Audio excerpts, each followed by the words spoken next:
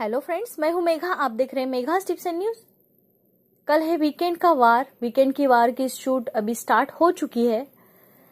इस वीक में चार कंटेस्टेंट नॉमिनेट थे, रश्मि देसाई, शहनाज, दलजीत कौर एंड कोयना मित्रा। इन चारों में से कौन इविक्ट हो जाएगा, ये देखना बहुत ही दिलचस्प होगा।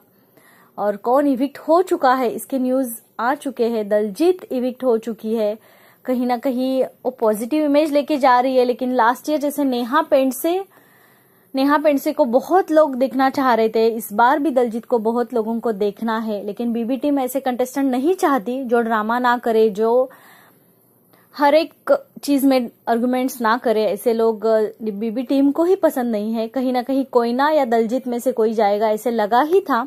और दलजीत ऑलरेडी इविक्ट हो चुकी है। आपकी क्या राय है कमेंट बॉक्स में लिखना ना भूलिए। अगर मेरा चैनल सब्सक्राइब नहीं किया है तो प्लीज़ सब्सक्राइब कर दीजिए लाइक करिए शेयर करिए। Take care bye